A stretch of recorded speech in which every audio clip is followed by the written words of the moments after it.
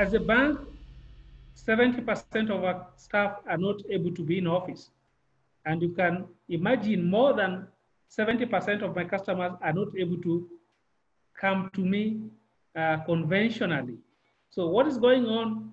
Uh, our digital financial services portal is the most active today, followed by my contact center. So what we are doing with our customers, we've the requirement for them to communicate. What we are doing is that we are accepting emails, they're chatting with us on social media, and we are taking their requests. Uh, their requests are varying from uh, rescheduling of their repayments of loans, uh, giving them holidays on interest and principal for periods ranging between three months to six months that we can meet through calls and make those decisions in 24 hours, maximum 48 hours. And uh, so far, we haven't found it impossible to serve them wherever they are.